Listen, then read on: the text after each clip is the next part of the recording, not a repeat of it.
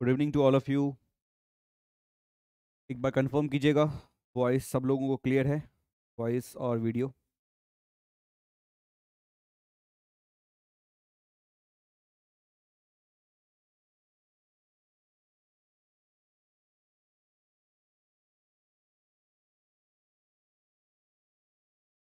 good evening Palash Roshan Amay good evening to all of you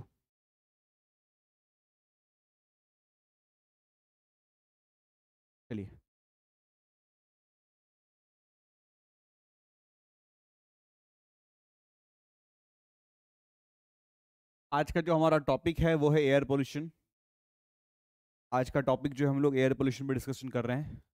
ठीक है? Start करें। एक बार आप सब लोग मुझे पूरा कुछ इंडिकेशन दे दीजिए। थम्सअप या कुछ भी जो भी हो। आज के डिस्कशन में आपके पास थ्योरी और न्यूमेरिकल दोनों वाला पार्ट होगा। तो आराम आराम से चीज़ों को करेंगे, कोई हड़बड़ी नहीं होगी। एक बार आप सब लोग कंफर्मेशन देते जल्दी से स्टार्ट करते हैं।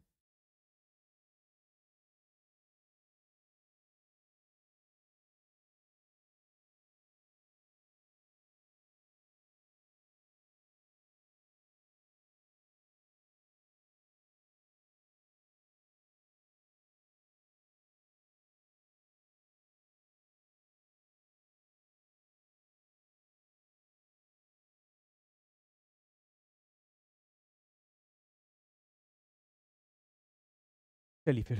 आप लोगों का कंफर्मेशन आ गया है तो स्टार्ट किया जाए। चलिए कहानी सुनते हैं। आज की कहानी है एयर पोल्यूशन के रिलेटेड जिससे अभी आप लोग को मालूम है दिल्ली कुछ ज़्यादा ही जूझ रही है, जो हर साल जूझती है। ये उसी एयर पोल्यूशन की हम बातें कर रहे हैं। इन द सेंस हम आउटडोर एयर पोल्यूशन की बात कर रहे हैं। इंडोर एयर पोल्यूशन की बात नहीं कर रहे हैं। वी आर टॉकिंग अबाउट अभी तक इंडोर एयर पोल्यूशन रिसर्च में आ गया है। हमारे बुक में अभी इंडोर एयर पोल्यूशन के बारे में बातें नहीं हो रही है। धीरे धीरे आएगा वक्त। कि इंडोर एयर पोल्यूशन भी आपके सिलेबस में इंक्लूड होगा। तो बात अभी किसकी हो रही है? आउटडोर एयर पोल्यूशन की। अब एयर पोल्यूशन का मतलब सिंपल है, आप लोग जानते हैं कि भैया, अगर आपको हवा लेने में, हवा, श्वास लेने में कंफर्टेबल जीने में प्रॉब्लम क्रिएट कर रहा है तो भैया बोल देते हैं एयर पोल्यूटेड है। अगर वही हवा आपको, आपकी प्रॉपर्टी को एंजॉय करने में प्रॉब्लम कर रहा है, जैसे आपकी प्रॉपर्टी को कोरोड कर रहा है या उसको ख़राब कर रहा है तो वो भी आपका एयर पोल्यूशन का ही इफ़ेक्ट आएगा। तो एयर पोल्यूटेंट आपके कुछ भी हो सकते हैं, चाहे वो डस्ट पार्टिकल हो, कोई गैसेस हो तो ये सारे आपके एयर पोल्यूटेंट में आ जाएँगे। ठीक है? थोड़ा सा आइडिया, बेसिक आइडिया, जो आप लोगों को पहले भी पता है, कि भैया एयर में क्या क्या चीज़ रहती है, जैसे नाइट्रोजन हो गया, ऑक्सीजन हो गया, कार्बन डाइऑक्साइड, आर्गन, सबसे ज़्यादा नाइट्रोजन है तो एक एक रफली आइडिया आप लोगों को मिल गया। दूसरी बात कि अगर आप अल्टीट्यूड के वाइज देखोगे टेम्परेचर डिफरेंस क्या बोल रहा हूँ मैं? जैसे जैसे अपनी अल्टीट्यूड मतलब जो एलिवेशन है, उसके अकॉर्डिंग अगर आप देखोगे अपना टेम्परेचर डिफरेंस तो आप पाओगे कि भैया पूरे एटमोस जो आज पूरा एटमोसफेयर है, उसमें अलग अलग तरीके का आपको टेम्परेचर वेरिएशन देखने को मिलेगा। जैसे हमने क्या किया है एटमोसफेयर को ट्रोपोस्फेयर स्टेटोस्फेयर मेसोस्फेयर थर्मोस्फेयर में बांटा हुआ है। ट्रोपोस्फेयर में आप क्या पाएँगे कि जैसे जैसे आप ऊपर जा रहे हैं, आपका टेम्परेचर डिक्रीज करता हुआ दिखेगा। रीजन क्या है डिक्रीज करने का? सिंपल सा है सर कि सर, हम जब ऊपर जा रहे हैं तो हम एक अपने अर्थ मास से दूर जा रहे हैं। और अर्थ मास में क्या है? अर्थ में क्या है? पार्टिकल है। तो जब सनलाइट आता है तो ये सारे पार्टिकल क्या करते हैं? हीट को एब्जॉर्ब कर लेते हैं। किसी भी गर्म चीज़ से आप दूर भागोगे तो आपका टेम्परेचर कम होता ही है। सेम चीज़ इसी वजह से ट्रोपोस्फेयर में आपको क्या दिखता है? जैसे से आप ऊपर जाते हो टेम्परेचर कम होने लगता है। Then then comes the stratosphere. अब स्ट्रेटोस्फेयर में फिर से आपका टेम्परेचर देखिए इंक्रीज करने लग रहा है। रीजन बीइंग क्या है सर स्ट्रेटोस्फेयर में एक लेयर होती है जिसको हम लोग बोलते हैं ओजोन लेयर आप सब लोगों ने नाम सुना है इस लेयर का। Now that ozone layer is क्या है भैया? कि वो आपके यूवी रेज को एब्जॉर्ब करके रखता है। तो यूवी रेज को लाइट को एब्जॉर्ब करना मतलब हीट को एब्जॉर्ब करना। तो वो लेयर आपका गर्म होगा ही। फिर से वही सेम लॉजिक अगर आप किसी गर्म चीज़ के पास जा रहे हो तो आपको टेम्परेचर बढ़ता हुआ दिखेगा। That's what we have seen फिर से मेसोस्फेयर में गर्म चीज़ से दूर भाग रहे हो तो टेम्परेचर डिक्रीज होता हुआ दिखेगा। इन थर्मोस्फेयर भैया अब आप सनलाइट सन के पास जाते जा रहे हो so you will find temperature आपका और मतलब greater than twelve hundred degree Celsius भी हो सकती है। हमारा मतलब ट्रोपोस्फेयर से ही होगा। हम लोग जो एयर पोल्यूशन की बातें कर रहे होंगे, वो ट्रोपोस्फेयर में ही कर रहे होंगे, क्योंकि हम सब उसी में रहते हैं तो हम उसी की बातें करेंगे। चलिए, अब बात करते हैं कुछ सोर्सेस ऑफ़ एयर पोल्यूशन की। तो सोर्सेस ऑफ़ एयर पोल्यूशन में आपके कई सारे आते हैं। उसमें अगर सबसे पहला मैं आपको नाम बताऊँ तो है आपके पास नेचुरल सोर्सेस अब ये नेचुरल सोर्सेस भी बेस्ड ऑन ओरिजिन के आधार पे बटे हुए हैं। तो बेस्ड ऑन ओरिजिन के आधार पे हमने दो टाइप के बनाए हुए हैं। एक है नेचुरल सोर्सेस दूसरा है आपका आर्टिफिशियल या इसको एंथ्रोपोजेनिक सोर्सेस भी बोलते हैं या कुछ लोग मैन मेड सोर्सेस भी बोलते हैं। एग्ज़ाम्पल से ही आपको क्लियर हो जाएगा, बताने की ज़रूरत नहीं है। जैसे फॉरेस्ट फायर हुआ डस्ट हुआ डस्ट स्टॉम हुआ पॉलिन ग्रेन्स हुए वॉल्केनिक एरप्शन हुए, ये सारे आपके नेचुरल सोर्सेस हैं। वहीं आर्टिफिशियल सोर्सेस की बात करें या मैनमेड सोर्सेस की बात करें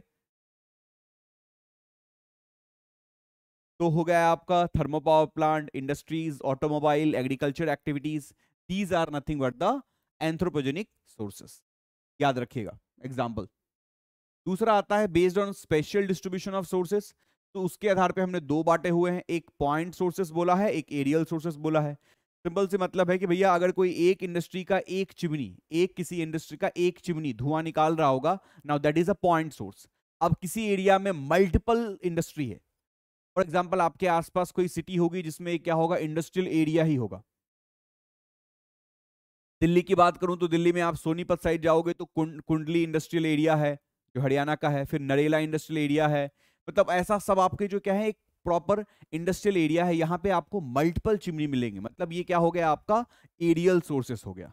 अगर बात करें based on position of the sources then you have a stationary sources and the mobile sources simple सी बात है, कोई एक इंडस्ट्री होगी तो वो तो भैया एक जगह रुकी हुई है ना। So that is the stationary sources वहीं अगर बात करें मोबाइल सोर्सेस का तो एक ट्रक आपके हाईवे पे मूव कर रहा है that is a mobile sources एक शिप आपका ओशियन में जा रहा है तो वो आपका है मोबाइल सोर्सेस तो इसके आधार पर भी हमने क्या किया है? सोर्स की क्लासिफिकेशन की है। अब दूसरा क्लासिफिकेशन जो इसमें आता है, वो है आपका क्लासिफिकेशन ऑफ़ एयर पोल्यूटेंट अब एयर पोल्यूटेंट का क्लासिफिकेशन भी हमने तीन बेसिस पे किया हुआ है। पहला बेसिस है आपका बेस्ड ऑन ऑरिजन ओनली दो हैं आपके, एक पहला है प्राइमरी और दूसरा है सेकेंडरी ध्यान सुनिएगा प्राइमरी और सेकेंडरी का डिफरेंस जो सब्सटेंस इन रॉ फॉर्मेट या डायरेक्ट जिस फॉर्मेट में अवेलेबल है वो हमको, उसी फॉर्मेट में वो एज ए एयर पोल्यूटेंट है हमारे लिए। जैसे सॉक्स जैसे कार्बन मोनोक्साइड जैसे पर्टिकुलेट मैटर ये उसी फॉर्मेट में हमारे लिए क्या है? एक, या smoke these are the primary pollutant but कुछ चीज़ें होती हैं जो दूसरे के साथ रिएक्ट करके तब वो आपको पोल्यूटेंट की तरह दिख रही हैं। जैसे फॉर एग्ज़ाम्पल आपका ऑक्सीजन ऑक्सीजन कोई प्रॉब्लम नहीं कर रहा था, लेकिन ऑक्सीजन नेसेंट ऑक्सीजन के साथ में भिड़ा और बना दिया ozone O three now that O three is a secondary pollutant वैसे ही बात करें आपका एसिड रेन टॉक्स नॉक्स जो है वाटर के साथ मिला तो एसिड रेन बना दिया। Now that is a secondary pollutant ठीक है? अगर बात करें आपका स्मॉग तो स्मॉग भी आपका क्या है? स्मोक प्लस फॉग ये भी आपका क्या है? सेकेंडरी पॉल्यूटेंट है। फिर फोटोकेमिकल स्मॉग हो जाएगा आपका। Then P A N peroxy acetyl nitrate हो जाएगा आपका। Then P B N peroxy nitrate हो जाएगा। ये सारे आपके क्या हैं? सेकेंडरी पोल्यूटेंट है, जिसको आप दिमाग में रख सकते हो।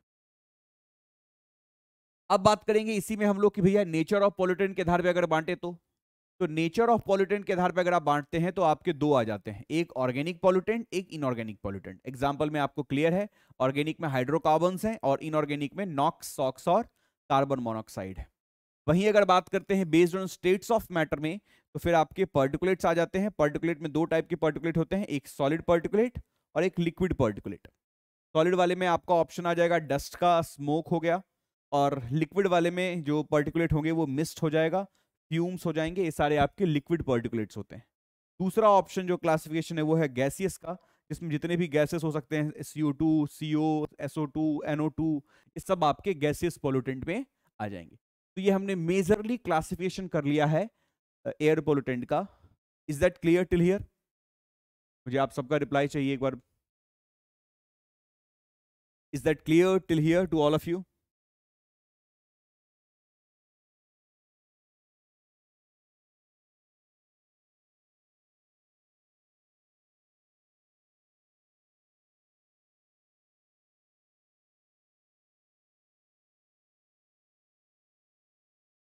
यहाँ तक क्लियर है चीज़ें समझ में आ रही हैं?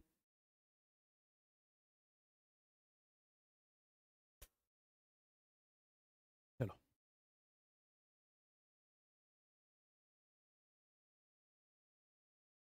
एक क्वेश्चन करो। बेसिक क्वेश्चन है और मैं चाहता हूँ कि सारे बच्चे इसको करें।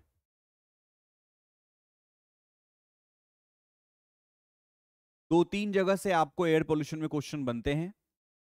तो उसमें से पहला जगह ये है, पहला पॉइंट ये है जहाँ से क्वेश्चंस बनते हैं।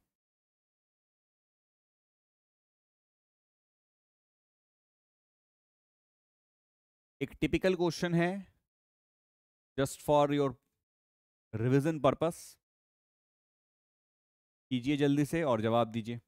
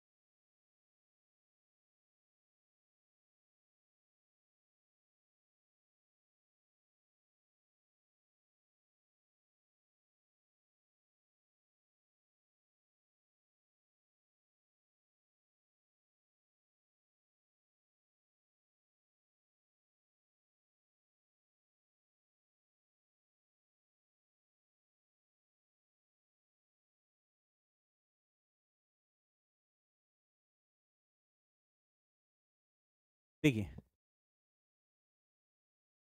ध्यान समझिए, जो बच्चे रिवीजन करना चाहते हैं या जो बच्चे सीखना भी चाहते हैं, वो लोग भी सीख लेंगे। आपको कन्वर्ट करना है माइक्रोग्राम पर मीटर को पीपीएम में। ठीक है? पीपीएम का मतलब समझो सबसे पहले, पार्ट्स पर मिलियन। मतलब ऊपर भी आपको सेम वॉल्यूम रहे मतलब सेम यूनिट रहेगा, नीचे भी सेम यूनिट रहना चाहिए। तो फॉर एग्ज़ाम्पल अगर मैं मीटर क्यूब लेके चल रहा हूँ तो ऊपर ये वाला माइक्रोग्राम वाला पार्ट है, ये मुझे प्रॉब्लम क्रिएट करने वाला है। तो लेट से मैं ऐसा लिख सकता हूँ एटी माइक्रोग्राम में मतलब 80 माइक्रोग्राम आपको प्रेजेंट है one metre cube of gases में। तो एटी माइक्रोग्राम क्या? NO2 तो वहीं अगर मैं बात करता हूँ ten to power six metre cube में कितना प्रेजेंट होगा? तो ये हो जाएगा आपका 80 ग्राम देखो, हमने लोअर पार्ट को ऑलरेडी पार्ट्स पर मिलियन तो हमने मिलियन वाला पार्ट नीचे लेके आ गए हैं। अब ऊपर वाले पार्ट को बस चेंज करना है। इसमें सेम यूनिट होना चाहिए। तो उसके लिए हम लोग क्या करते हैं? पीवी इक्वल टू एनआरटी वाला फॉर्मूला यूज़ करेंगे। बट उसके लिए आपको आर की वैल्यू या तो याद होनी चाहिए या पता होना चाहिए। तो एट एसटीपी कंडीशन आपका पीवी इक्वल टू एनआरटी अगर मैं आपको लगाऊँगा तो पी हो जाएगा आपका वन एटीएम वॉल्यूम हो जाएगा आपका 22.4 नंबर ऑफ़ मोल वन है। आर की वैल्यू आप लोग बताओगे और टेम्परेचर ज़ीरो डिग्री सेल्सियस मतलब 273.15 केल्विन यूनिट का ध्यान रखिएगा। आर की वैल्यू अगर आप कैलकुलेट करते हैं तो लगभग आपका 0.081 कैलकुलेट करके चेक कर लीजिएगा। एटीएम लीटर पर मोल कैलविन यूनिट का ध्यान रखिएगा। यूनिट का ध्यान रखिएगा। अब वही हम सेम फॉर्मूला यहाँ पे लगा रहे हैं for our condition PV equal to nRT. This time pressure is given one two point six kilo pascal इसका मतलब है दो एटीएम आपको गिवन है। वॉल्यूम आपको निकालना ही है। नंबर ऑफ़ मोल हो जाएगा आपका 80 ग्राम मास है। Divided by molecular mass of NO2 हो जाएगा 14 प्लस 32 46 इंटू आर की वैल्यू है 0.0821 इंटू टेम्परेचर आपको दिया हुआ है 25 degree Celsius that means 273.15 plus 25 so from here, i can get the volume part in liters. But मैं चाहता हूँ कि आप सब लोग मुझे मीटर्स क्यू में जवाब दो।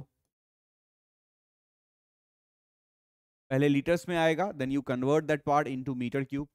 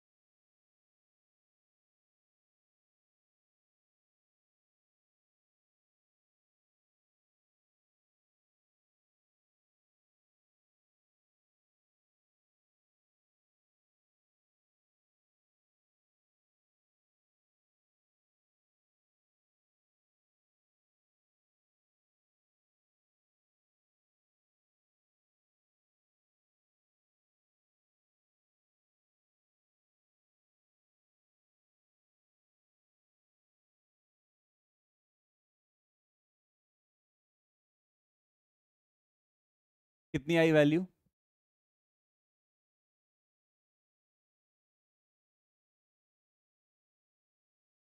जो आप लोग जवाब देंगे, वही आंसर होगा।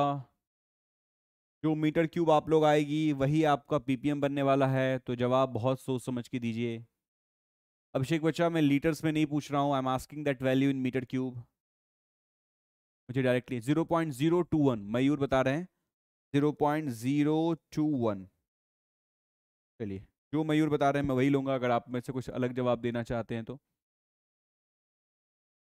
So now that means this 80 microgram per meter cube is directly become 0.021 ppm. Now that is the answer. समझ में आया सब लोगों को इज़ दैट थोड़ा क्लैरिटी मिला क्वेश्चन में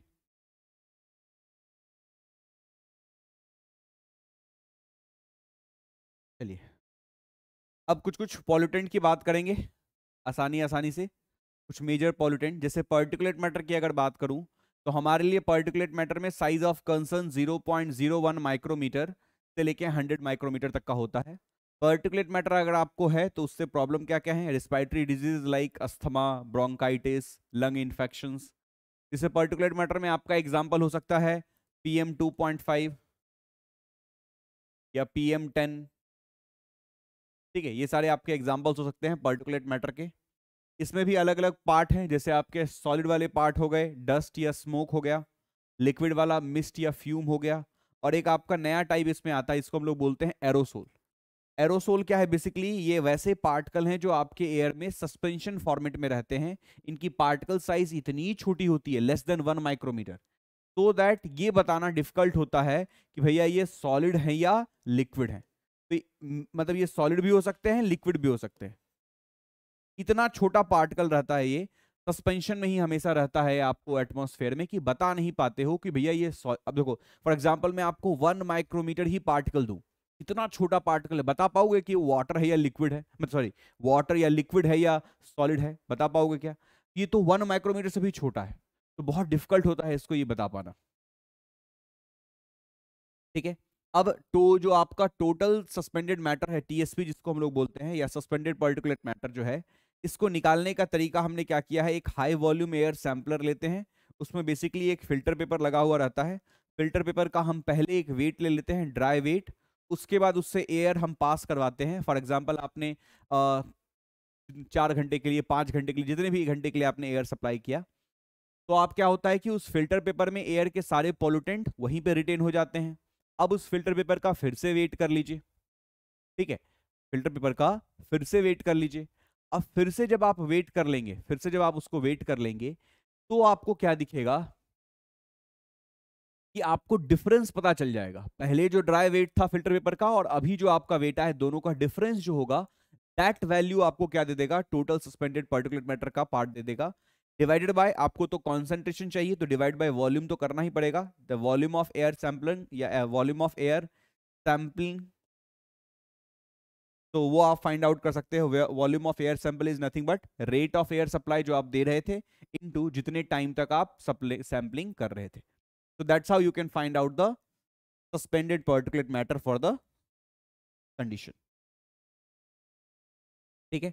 अब इस स्लाइड में मैंने आपको uh, क्या किए हैं different different types of particulates दे दिए हैं जो आप लोग डे टू डे लाइफ में देखते हो। इसको देख लेना एक बार आप लोग। थ्योरी वाला पार्ट है एक बार पढ़ लेना। ठीक है? नेक्स्ट आपका आता है पर्टिकुलेट मैटर जिसको हम लोग बोलते हैं कार्बन मोनोक्साइड अब ध्यान दीजिएगा कार्बन मोनोक्साइड की कैरेक्टरिस्टिक्स क्या है भैया? कि ये कलरलेस है आपका ऑर्डरलेस भी है रेसिडेंस टाइम इसकी बहुत ज़्यादा है। सबसे बड़ी प्रॉब्लम इसकी यही है कि रेसिडेंस टाइम बहुत ज़्यादा है। रेसिडेंस टाइम का मतलब है कि ये कार्बन मोनोक्साइड के ही फॉर्म में, अपने ओरिजिनल फॉर्म में बहुत टाइम तक एयर में रहेगा। तो कोई खतरनाक चीज़ या डेंजरस चीज़ बहुत ज़्यादा डेंजरस हो लेकिन बहुत कम टाइम के लिए इन्वायरमेंट में रहती हो, वो हमारे लिए उतना खतरनाक नहीं होता जितना कोई थोड़ा कम डेंजरस है, लेकिन रहता ज़्यादा टाइम तक है। वो इन्वायरमेंट में इससे क्या होगा कि ज़्यादा लोग एक्सपोजर होंगे उसके। जो ऐसा कोई केमिकल है जो है डेंजरस लेकिन जैसे ही एयर में डालेंगे, फटाक से उसका उसका रेसिडेंस टाइम बहुत खत्म, कम है। तो जो आसपास के कुछ लोग रहेंगे, बस उतने ही डैमेज हुए। लेकिन जिसका रेसिडेंस टाइम बड़ा है, ज़्यादा है, बहुत दिनों तक रहेगा एटमोसफेयर में तो it will it will contaminate like बहुत ज़्यादा एरिया वो कंटामिनेट कर पाएगा, बहुत सारे लोगों को एक्सपोज हो पाएगा वो। तो in that case carbon monoxide के साथ प्रॉब्लम आपको बता दिया। बाकी कार्बन मोनोक्साइड फॉर्म कैसे होता है कि भैया कहीं भी इनकम्प्लीट कंबशन हो रहा होगा तो कार्बन मोनोक्साइड आपका फॉर्म हो रहा होगा।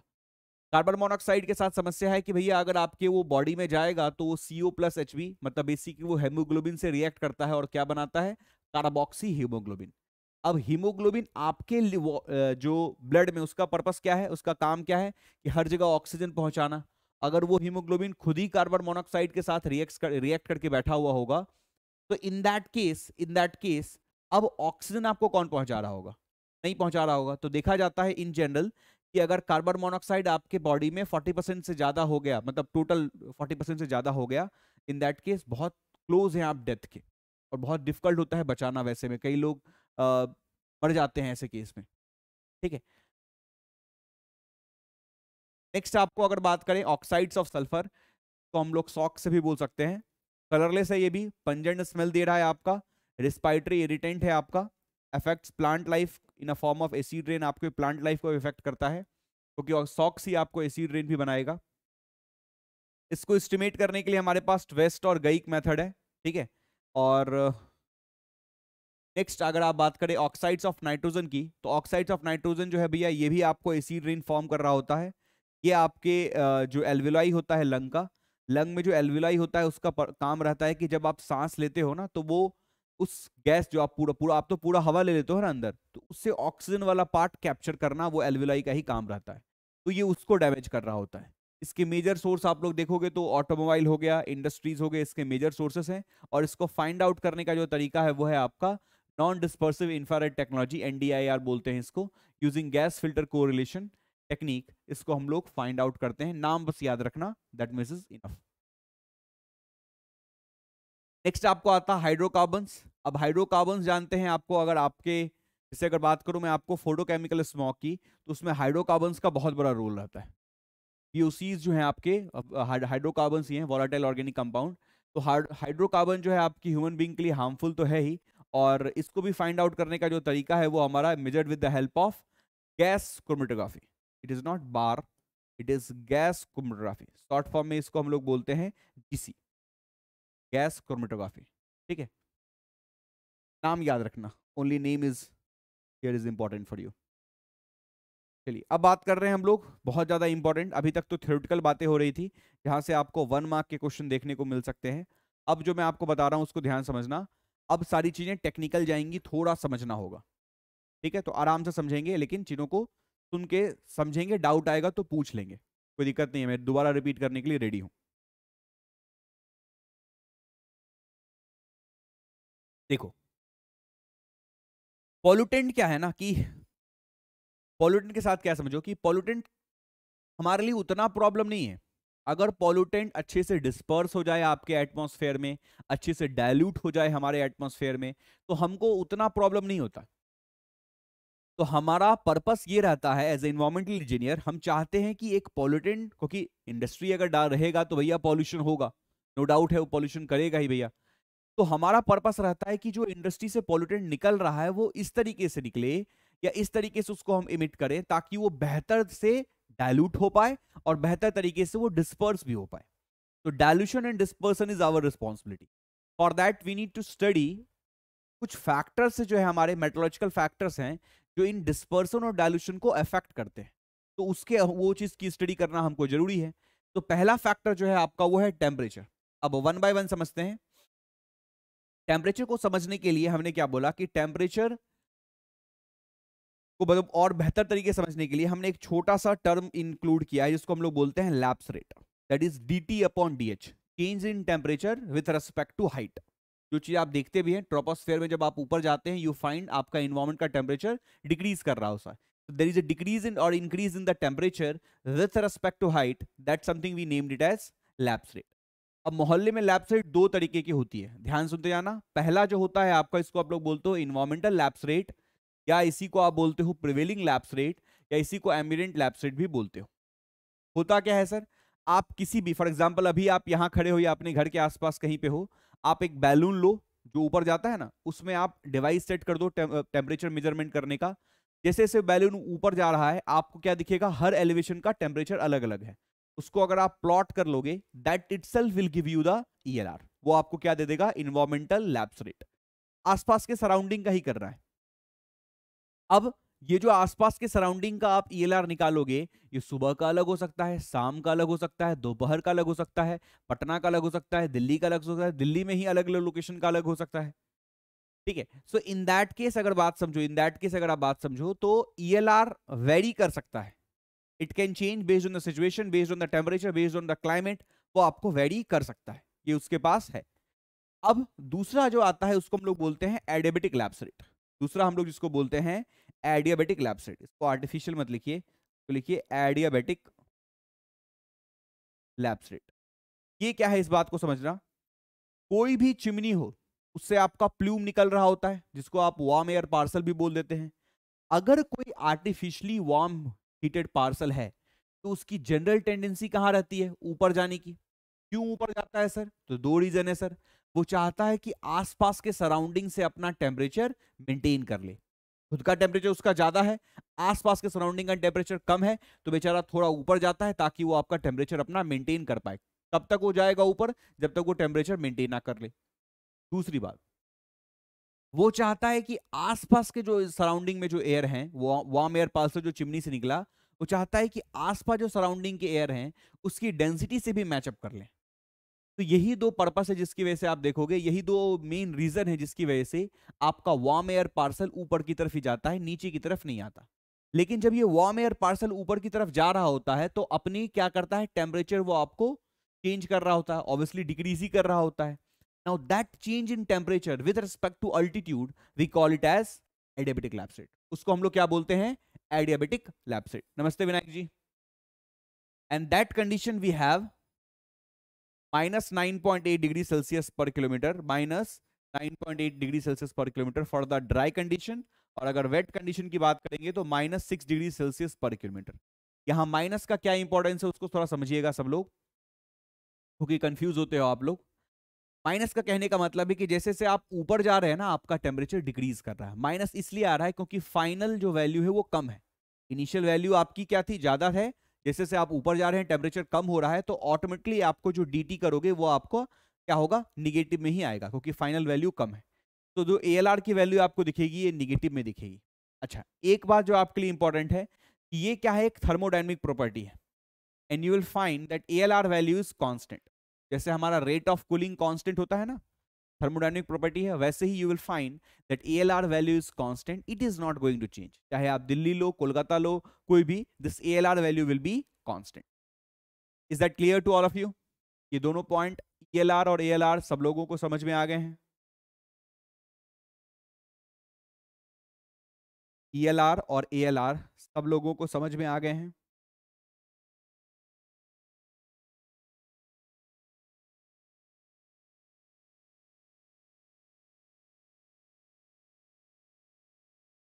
ELR और ALR क्या सब लोगों को समझ में आ गए हैं?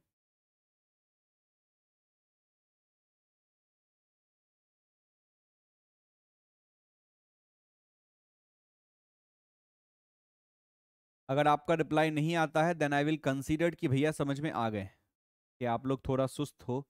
आई don't know Y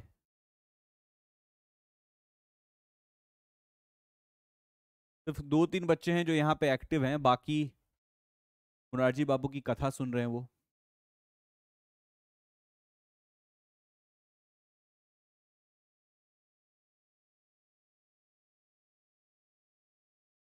I want reply from all of you यहाँ कोई कथा नहीं चल रही है so your activeness is very much required हाँ अब चार बार पूछूँगा तो sir A L R again A L R है भैया कि आपने चिमनी से ऊपर धुआँ हुआ निकलते देखा था बच्चा? रोशन, सब लोग देखते हो, चिमनी चिमनी के ऊपर से धुआँ निकल रहा है। वो आपको धुआँ जनरली ऊपर की तरफ़ जाएगा, जनरली क्या हमेशा ऊपर की तरफ़ ही जाएगा। रीजन क्या है? वो वार्म एयर पार्सल है। वो चाहता है कि अपने आसपास के जो सराउंडिंग है, उसका टेम्परेचर मेंटेन कर लूँ या उसका डेंसिटी मेंटेन करूँ। तो in that, in, because of that क्या करता है? वो बेचारा ऊपर की तरफ़ जाता है। ऊपर की तरफ़ जाने में अपना टेम्परेचर वो लोअर डाउन करता है। So that it get maintain with the surrounding air बस अल्टीमेट पर्पस उसका वही है। अब ये जो चीज़ें हो रही होती हैं, ये चीज़ें एक थर्मोडाइनिक प्रॉपर्टी है। जैसे आप पाँच लीटर दूध और दो लीटर दूध सेम टेम्परेचर में हो, उसको ठंडा करने बैठो, दोनों सेम टाइम में ठंडा होता है। Because rate of cooling is constant it's a thermodynamic property ठीक है? चलिए। अब इसी के आधार पे हमने कुछ अलग अलग केस बनाए हुए हैं। जैसे देखो, पहला केस है आपका E L R greater than A L R वाला केस इसको समझना, इस बार, एक बार फिगर को मैं समझा रहा हूँ, ध्यान समझना। अल्टीट्यूड है ये हाइट इधर है आपका टेम्परेचर ठीक है? दो लाइन बनाई हुई मैंने, एक ए बनाई हुई है, एक ई एल आर बनाई हुई है।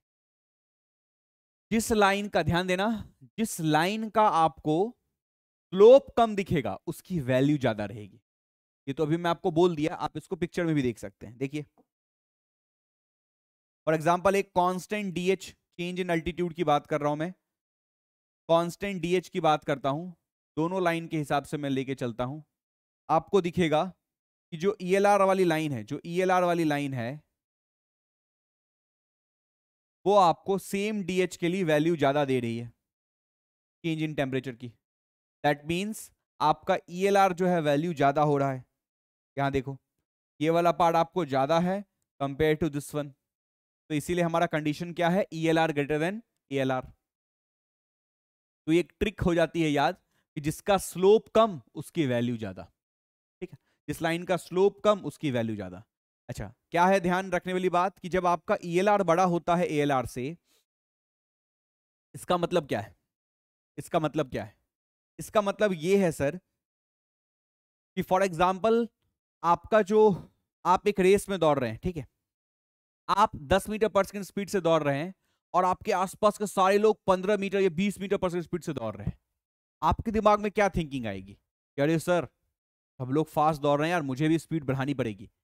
आया ना, वही थिंकिंग आएगी। तो जब ई एल आर आउटसाइड का जो इन्वायरमेंट है, उसकी जो वैल्यू है लैप्स रेट की, वो ज़्यादा रहती है compare to A L R in that के एक सपोर्ट मिल जाता है कि भैया और ऊपर जाओ, और ऊपर जाओ। तो in that case you will find the vertical mixing is very good तो एक बात और समझना यहाँ ज़रूरी है कि टेम्परेचर जो हम देख रहे थे जो देख रहे हैं बेसिकली सारी डिस्कशन टेम्परेचर के अंदर ही है, ये वर्टिकल मिक्सिंग को रेगुलेट कर रहा होता है, या वर्टिकल मिक्सिंग के लिए रिस्पॉन्सिबल होता है। तो वैसे कंडीशन में जहाँ पे आपकी वर्टिकल मिक्सिंग अच्छी हो रही है, इसको आप बोलते हो unstable condition and this condition is good for dispersion and dilution इसी का उल्टा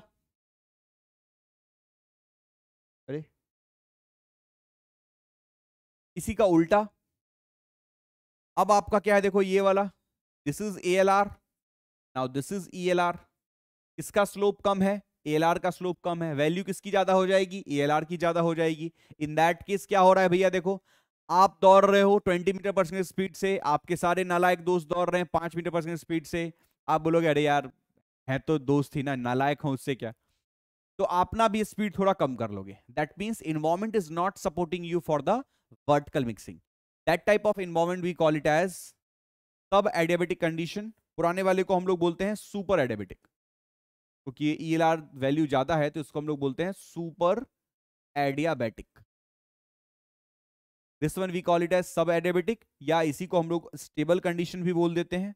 तो ध्यान रखना, यहाँ पे जब भी आप मिक्सिंग की बात करते हो, जब भी आप डिस्पर्सन की बात करते हो, जब भी आप डायल्यूशन की बात करते हो instability is good for us जितना ज़्यादा अनस्टेबिलिटी रहेगा, उतना बेहतर हमारा डायलूशन हो जाता है। तो here instability is good for us stability is not good for us clear रहना इस बात पे।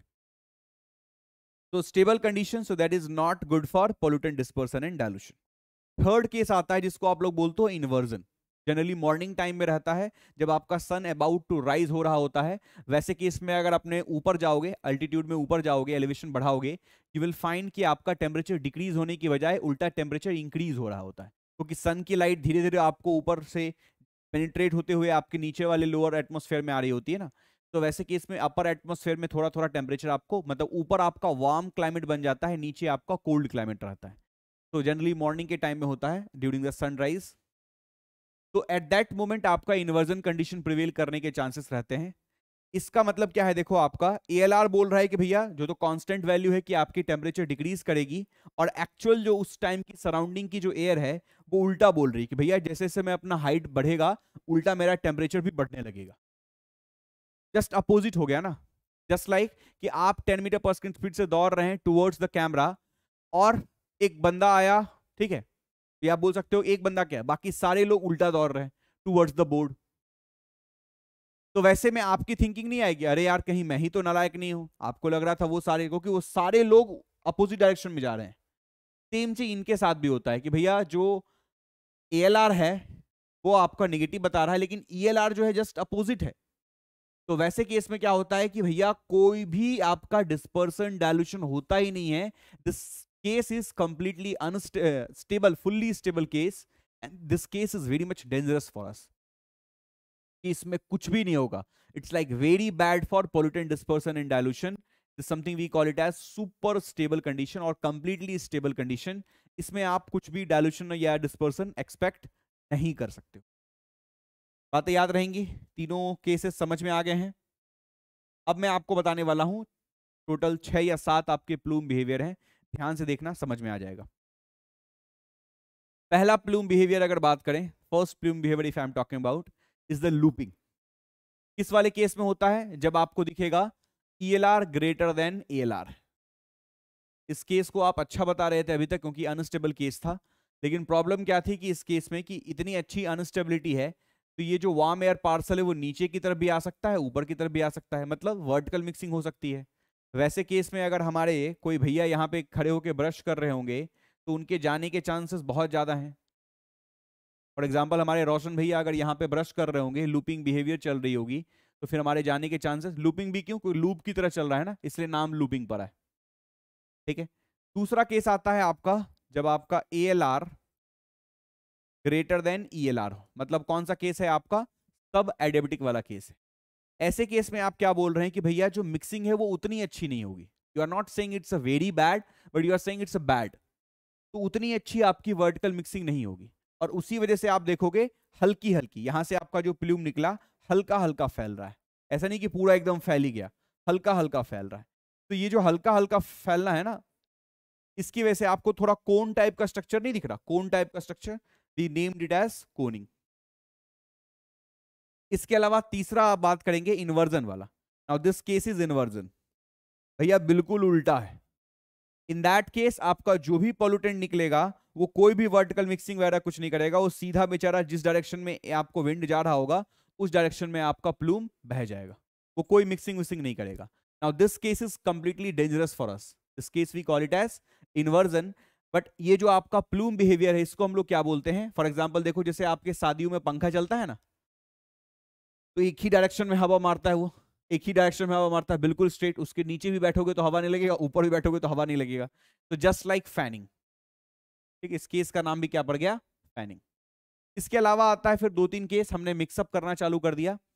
ये जो आपकी लाइन है दिस लाइन ये आपका ए लाइन है, वो हमेशा कांस्टेंट रहता है। ईएलआर लाइन आपका कैसा हो गया? देखो ऐसा। इसको और बेहतर हम बनाए डायग्राम में तो इट इज़ लाइक दिस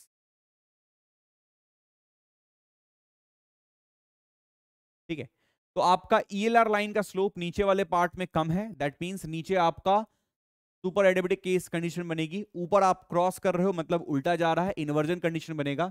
तो जो भी आपका प्लूम निकलेगा, वो ऊपर तो मिक्स हो नहीं हो नहीं पाएगा। तो पूरा का पूरा आपको नीचे की तरफ़ ही चला जाता है। And this case is worst case for us क्योंकि इसमें पूरा का पूरा पोलिटेंट आपको नीचे ग्राउंड लेवल पे ही चला जाता है। This case is worst case for us ध्यान रखिएगा। नाम क्या है? फ्यूमिगेशन इसी को थोड़ा और बदल के हमने क्या किया? अभी भी हमारा जो एएलआर लाइन है, वो तो कांस्टेंट ही रहेगा। चेंज कौन होता है? ईएलआर लाइन हमेशा। तो इस बार ऐसा हो रहा है आपका, देखिए। ऊपर वाले पार्ट में आपका क्या हो रहा है? Unstable condition super adiabatic condition maintain हो रही है, क्योंकि आपकी इसकी स्लोप कम है कंपेयर टू दिस लाइन और यहाँ आप क्रॉस कर रहे हैं मतलब नीचे इन्वर्जन कंडीशन आपकी मेंटेन हो रही है। इसकी वजह से आप क्या देखोगे, जो आपके पोल्यूटेंट निकल रहे हैं, वो आपको ऊपर ही चलते रहेंगे, ऊपर ही जाते रहेंगे, नीचे नहीं आ सकते क्योंकि नीचे उसको इन्वर्जन कंडीशन है जहाँ पे वर्टिकल मिक्सिंग कुछ भी अलाउड है ही नहीं। Now this condition is the best condition for all of us दिमाग में रखना। It is the best condition ऐसे कंडीशन में आपके अगर कोई बंदा यहाँ पे ब्रश कर रहा होगा तो वो बिल्कुल सेफ़ है, हंसता, खेलता रहेगा, उसकी हँसी एकदम इतनी अच्छी होगी लाफ्टिंग उसकी इतनी अच्छी होगी, इस केस का नाम भी हमने लॉफ्टिंग दे दिया है। Last one is the trapping trapping जो है वो थोड़ा हेडी पॉटर से हेडी पुत्र जो थे अपने, उससे थोड़ा इंस्पायर है। ठीक है? ये देखो ए लाइन अभी भी कांस्टेंट है। ये रहा आपका ए लाइन तो बीच वाले पार्ट में आपको दिखेगा कि आपका सुपर एडिबिटिक कंडीशन मेंटेन हो रही है। ऊपर और नीचे आपका इन्वर्जन है। तो it is like in this ले इन दिस कंडीशन दो इन्वर्जन लेयर के बीच में एक सुपर एडेबिटिक कंडीशन आपकी फंसी हुई है ट्रैप है। तो ऐसे केस में क्या होगा कि जो आपका वार्म एयर पार्सल निकलेगा ना बेचारा ऊपर जा सकता है क्योंकि ऊपर भी इन्वर्जन है ना नीच, नीचे जा सकता है। तो यही बीच में इसी लेयर में वो ट्रैप रहेगा। This this case we call it as trapping this case we call it as trapping और इस केस में क्या हो रहा होगा? इस केस में क्या हो रहा होगा? यू विल फाइंड ये केस हमको फ़ायदा कब दे देता है ना? फॉर एग्ज़ाम्पल आपको किसी सिटी के ऊपर से पोलिटेंट क्रॉस करवाना है। पोलिटेंट आपको निकल रहा है और जस्ट बाजू में कोई सिटी है। आपको उसके ऊपर से पोलिटेंट क्रॉस करवाना है without affecting the people who are living in the city तो इन दैट केस हम लोग इसको ट्रैपिंग वाला कंडीशन को यूज़ कर लेते हैं। Now all this six condition it can possible at any point of time in like different different time of different different point of time in the in a day time और night time also तो एक पूरे दिन में आपको किसी भी time ऐसा हो सकता है। ऐसा नहीं कि कोई फिक्स टाइम है। जैसे इन्वर्जन आपको मॉर्निंग वाले पार्ट में होता है जनरली विंटर की मॉर्निंग में आप देखोगे ऐसा होते हुए इन्वर्जन वाला। तो हमको इसके अकॉर्डिंग फिट होना है। ऐसा नहीं कि आप एटमोसफेयर को अपने अकॉर्डिंग फिट कर रहे हो। नहीं नहीं नहीं। एटमोसफेयर जिस टाइम जैसा शो कर रहा है उसके आधार पे हमको अपना पोल्यूटन रिलीज़ करना है। फॉर एग्ज़ाम्पल अगर इन्वर्जन शो कर रहा है तो पोल्यूटन रिलीज़ नहीं करना है। At that moment pollutant release नहीं करना है। तो पोल्यूटन रिलीज़ करना है, लेकिन एक टाइम देख के ऐसा नहीं कि कभी भी रिलीज़ कर दिए। तो इस बात का ध्यान रखिएगा। ये आपके टोटल छह हैं। एक और सेवन ले लो दिमाग में कि भैया फिगर उसका बनाया होगा मैं। This is the neutral condition जहाँ पे आपको दिखता है कि ई e और ए बराबर है। It is a complete neutral condition आपका वार्म एयर पार्सल जैसा था, ऊपर के ऊपर ऊपर ही जा रहा है। कोई खासा उसमें मिर्च मसाला नहीं है। सिंपल समझ में आया? I want reply from all of you ये सातों केस समझ में आए। Total seven plume behavior case जो थे, आप लोगों को समझ में आए।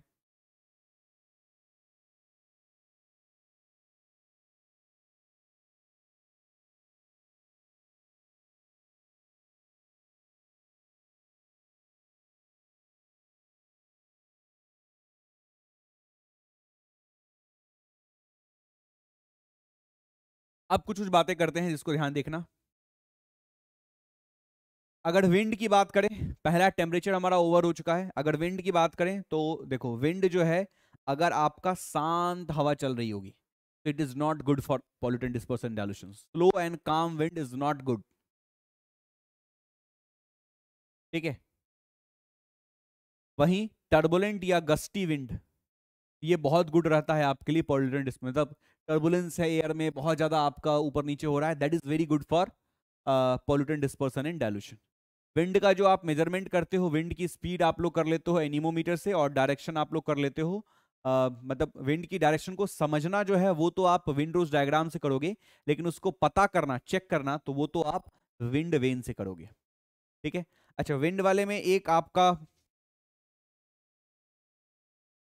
सेवेंथ लॉ आता है, इसको वन बाय सेवेंथ लॉ बोलते हैं। क्या बोलते हैं कि जो आपकी वेलोसिटी ऑफ़ विंड है, वो डायरेक्टली प्रोपोर्शनल है जेड जेड जो आपकी डेप्थ है to the power one by seventh इसका कहने का क्या मतलब है कि जैसे जैसे आप ऊपर जा रहे हो ना, आप पाओगे आपकी जो वेलोसिटी है वेलोसिटी ऑफ़ विंड वो एक्सपोनेंशियली आपकी ग्रो कर रही होती है। इसी वजह से देखोगे आपके जो ऊपर के जो फॉर एग्जांपल बुर्ज खलीफा ऐसे ऐसे जो स्ट्रक्चर आप देखते हो, ऊपर वो लोग छोटा कर देते हैं। ताकि विंड रेजिस्टेंस कम आए ड्रैग फोर्स कम आए। ऊपर वो एरिया कम कर देंगे तो विंड आपके फोर्स मतलब विंड फोर्स अगर ज़्यादा भी होगी तो भी एरिया कम होने की वजह से, या विंड प्रेशर ज़्यादा भी होगा तो तो भी एरिया कम होने की वजह से फोर्स आपको कम लगेगा। तो ये एडवांटेज हमको करना पड़ता है, ताकि आप छोटा ऊपर बना पाओ। तो विंड वेलोसिटी बढ़ जाती है, ये चीज़ आप फील भी कर सकते हो। आप ग्राउंड फ्लोर पे हो, आप टेंथ फ्लोर पे हो, आप ट्वेंटी फ्लोर पे हो, आपको हवा में विंड की वेलोसिटी में डिफरेंस दिखेगा। जो लोग हाई राइज बिल्डिंग में रहते हैं, उनको ये चीज़ फील होती है। नेक्स्ट आपको आता है प्रेशर। प्रेशर में दो केसेस हमारे पास रहते हैं, एक साइक्लोन वाला केस और एक एंटी साइक्लोन वाला केस। हमारे लिए साइक्लोन वाला केस बढ़िया होता है, अनस्टेबल होता है, good for pollutant dispersion in dilution होता है। रीजन बीइंग क्या है कि साइक्लोन कब आता है? जब आपका एरिया लो प्रेशर रीजन में है, कहीं और से हवा आ रही है। कहीं और से हवा आएगी तो चारों तरफ़ से आएगी और टकरा के, इस एरिया में टकरा के फिर ऊपर की तरफ़ निकल रही होगी। तो मूवमेंट इस तरीके से होगा, देखो। मूवमेंट इस तरीके से। मूवमेंट इस तरीके से। चारों डायरेक्शन से। तो वैसे केस में क्या होता है, ऐसी जगह पे अगर मैं कुछ पॉलिटिन रिलीज़ करूँगा तो वो पॉलिटिन तो ऊपर लेके चला जाएगा, ऊपर आपके वर्टिकल मिक्सिंग हो जाएगी। So that is a good for pollutant dispersion and dilution अब इसी का उल्टा है एंटी साइक्लोन उसमें क्या होता है, आपकी मूवमेंट जो होती है, देखिए, क्योंकि आप हाई प्रेशर रीजन में रहते हो एंटी साइक्लोन में, और बाहर बाकी का एरिया लो प्रेशर रीजन में है तो यहाँ से एयर निकल रहा होता है। मतलब आपकी एयर की मूवमेंट यहाँ से। ये जो पहले ऊपर जा रही थी, अब एयर यहाँ से निकल रहा है, क्योंकि मूवमेंट होगी हाई टू लो प्रेशर तो आपका एयर अगर बाहर निकल रहा है तो बेसिकली क्या कर रहे हो आप? कि ऐसे केस में अगर मैं यहाँ पे पॉल्यूटेंट डाल दूँगा तो उस पॉल्यूटेंट को आप वही ग्राउंड में ही फैला दोगे। तो भैया ये तो दर्द है ना? इसमें तो दिक्कत है आपका पॉल्यूटेंट डायरेक्टली लोगों के एक्सपोजर में आ जाएगा। तो this is not good for this person and dilution next है आपका ह्यूमिडिटी ह्यूमिडिटी एक जनरल मतलब मेटोलॉजिकल फैक्टर है। भैया आप जानते हो कि आपके एयर में कई सारे बैक्टीरिया हैं, कई सारी चीज़ें हैं। लेकिन उनको अगर वाटर मिल जाती है तो वो थोड़ा ज़्यादा नाटक करना चालू कर जैसे सॉक्स और नॉक्स हमको उतनी प्रॉब्लम नहीं कर रही थी, जितना पानी मिल जाने के बाद एसी ड्रेन करने लगा। प्रॉब्लम सॉक्स और नॉक्स भी कर रहा था that is also pollutant but AC drain बना के करना तो फिर ज़्यादा खतरनाक हो रहा है ना। तो that AC drain is nothing but what it is it is a effect of humidity आपकी एयर में ह्यूमिडिटी ज़्यादा रहेगी तो एसी ड्रेन बनने के चांसेस ज़्यादा रहते हैं। तो ह्यूमिडिटी होने से सेकेंडरी जो पॉल्यूटेंट है, उनके बनने के चांसेस ज़्यादा होते हैं। इस बात का ध्यान रखिएगा। चलिए, एक छोटा सा क्वेश्चन करेंगे quickly just for revision purpose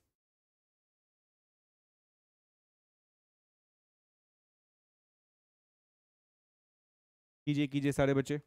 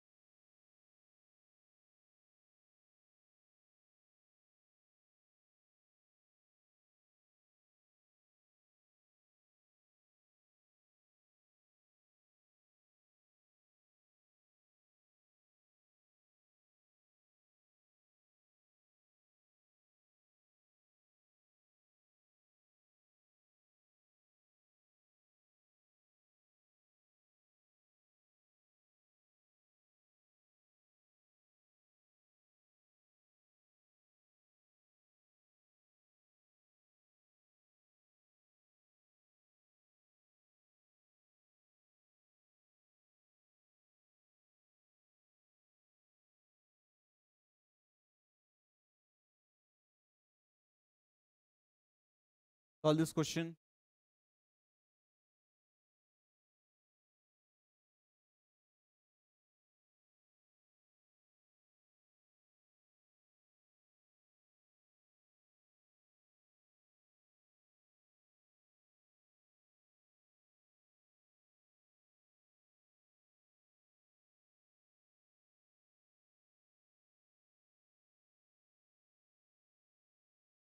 देखिए यहाँ पे आपको दो ई e निकाल सकते हैं।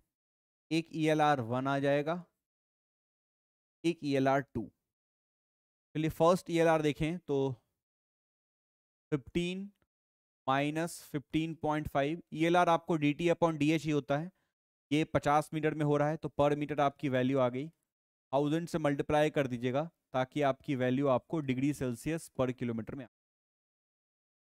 similarly E L R two अगर निकालेंगे फॉर दिस केस तो हो जाएगा fourteen point three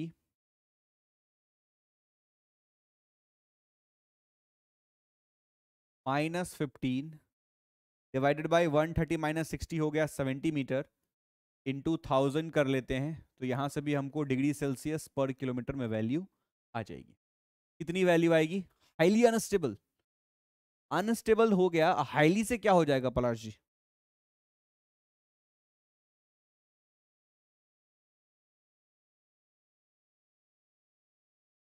minus ten दोनों का आ रहा है। और यहाँ कितना था? ए एल आर का हमारा कांस्टेंट वैल्यू कितनी है? ड्राई वाले कंडीशन के लिए। Minus nine point eight degree Celsius पर किलोमीटर। मतलब कौन सा बड़ा हो गया, सर? ई बड़ा हो गया ए एल आर से। This case is super adiabatic case और ये केस आपका अनस्टेबल होता है। ऑप्शन ऐसे क्वेश्चन आपको दो मार्क में पूछे जा सकते हैं। ध्यान रखिएगा। चलिए। अब एक आता है एक छोटा सा टर्म जिसको हम लोग बोलते हैं maximum mixing depth MMD short form में बोलते तो आपकी जो एएलआर लाइन है और जो आपकी ईएलआर लाइन है, वो जहाँ पे कट कर रही होगी, उस हाइट को हम लोग बोल देते हैं मैक्सिमम मिक्सिंग डेप्थ याद रखिएगा। दूसरी बात कि जब आपका कोई वार्म एयर पार्सल निकल रहा होता है तो हम वहाँ पे ये आपका वाम एयर पार्सल निकल रहा होता है तो हम उस टैग की, वो चिमनी की जो हाइट रहती है, उसको दो हाइट रिप्रेजेंट करते हैं। एक को बोलते हैं इफ़ेक्टिव हाइट और दूसरे को बोलते हैं फ़िज़िकल हाइट। तो फ़िज़िकल हाइट तो जो आपको दिख रहा है, एच हाइट वो हो गया। प्लस ये जो वार्म एयर पार्सल है, ऐसे नहीं तुरंत आपको मिल जाता है। ये थोड़ा सा राइज तो करता है ना। तो हमने एक एवरेज ले लिया एक हाइट, जिसको बोलते हैं delta H. This delta H we call it as plume rise ये जो आपका प्लूम जो निकल रहा है चिमनी से that rise we call it as plume rise तो इफ़ेक्टिव हाइट अगर आप बोलोगे चिमनी की तो physical height plus plume rise दोनों का एड ऑन हो जाता है। ध्यान रखिएगा। दूसरी बात, हमने क्या किया है, ये जो हाइट निकालनी है चिमनी की, इसकी जो हाइट है मतलब जो आपकी फ़िज़िकल हाइट की मैं बात कर रहा हूँ, ये जो हाइट है, इसको निकालने के लिए दो इंपेरिकल इक्वेशंस को यूज़ किया है और इंपेरिकल इक्वेशन में हमने SO2 जो आपका सल्फ़र डाइऑक्साइड है और पर्टिकुलेट मैटर इन दोनों के हिसाब से बातें की हैं, क्योंकि यही जनरली आपकी इंडस्ट्री से निकल रही होती हैं। तो इन्हीं दोनों को लेके बात किया है, दो फॉर्मूले दिए हुए हैं आपको। एक पर्टिकुलेट मैटर की बेसिस पे आपका ये है फॉर्मूला और सल्फ़र डाइऑक्साइड SO2 के बेसिस पे ये है आपका फॉर्मूला यूनिट्स का फेर है, क्योंकि दोनों इंपेरिकल इक्वेशन है तो यूनिट्स का आपको दिमाग में रखना पड़ेगा। एक टन पर आवर में एक्सेप्ट करता है, दूसरा केजी पर आवर में अपनी वैल्यू को एक्सपेक्ट मतलब एक्सपेक्ट करता है और वैल्यू दोनों में आपको मीटर में ही आती है। एच की वैल्यू दोनों केस में मीटर में ही आती है। इसके अलावा उन्होंने क्या किया है? एक मिनिमम स्टैंडर्ड वैल्यू भी दे दी है for different different type of thermo power plant तो ये वैल्यूज़ भी आपको दिमाग में रखनी होगी। चलिए। अब बात करेंगे थोड़ा सा एयर पोल्यूटेंट कंट्रोल डिवाइसेस के बारे में। कुछ एयर पोल्यूटेंट कंट्रोल डिवाइसेस हैं, जिसको आप लोगों को रिवाइज करना ज़रूरी है। ध्यान से सुनते जाना चीज़ों को।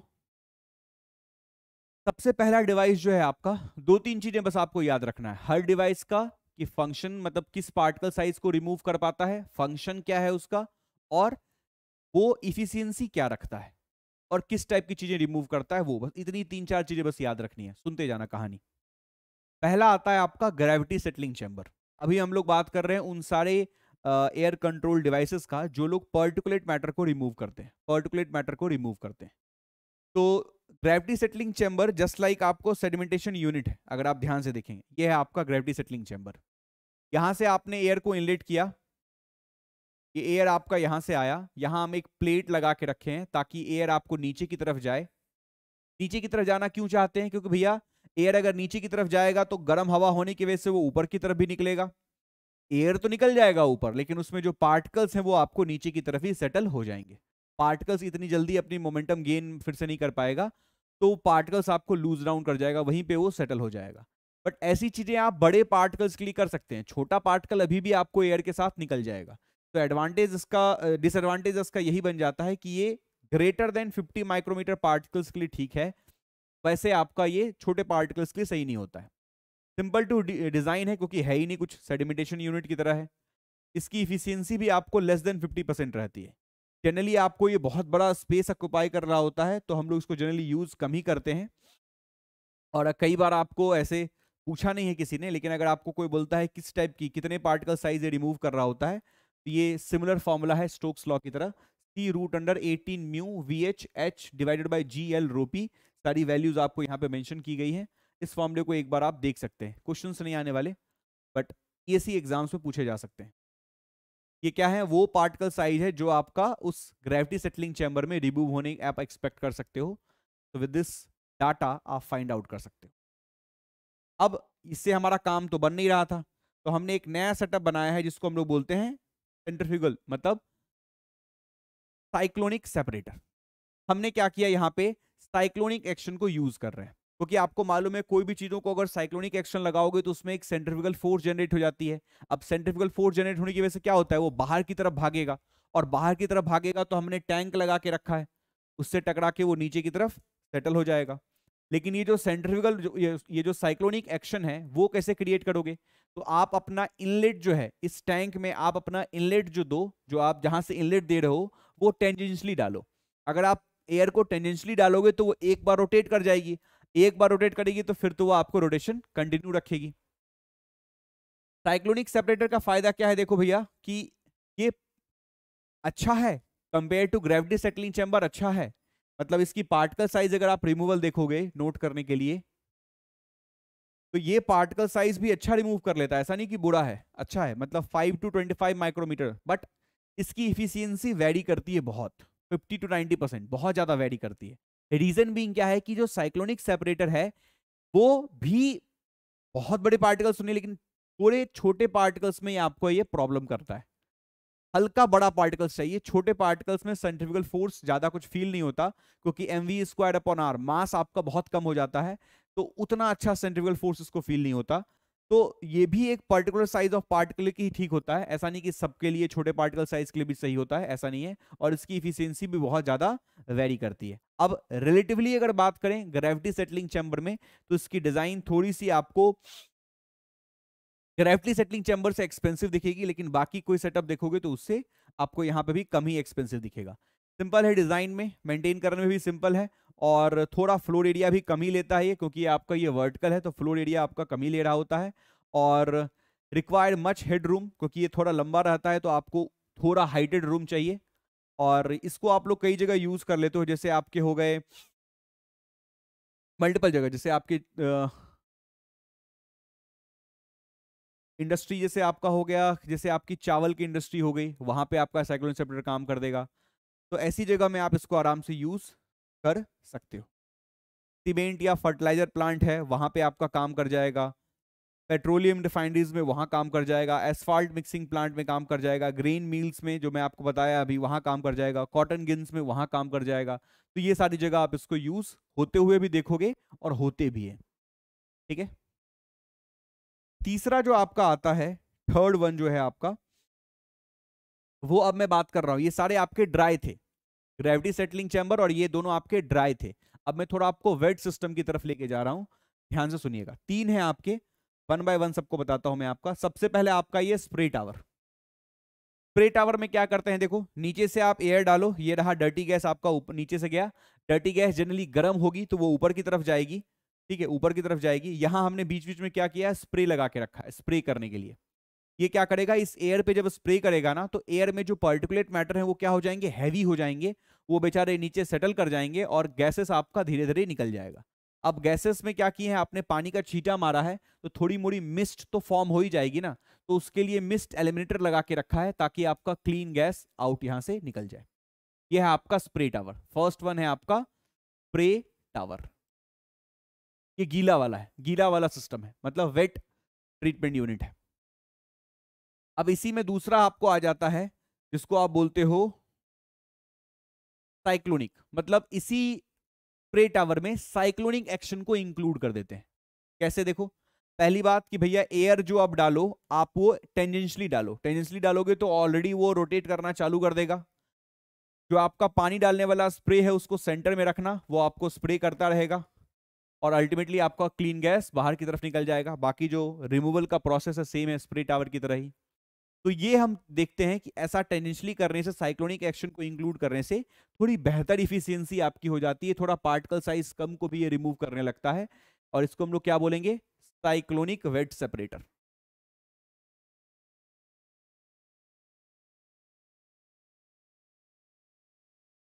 ठीक है। Cyclonic wet separator.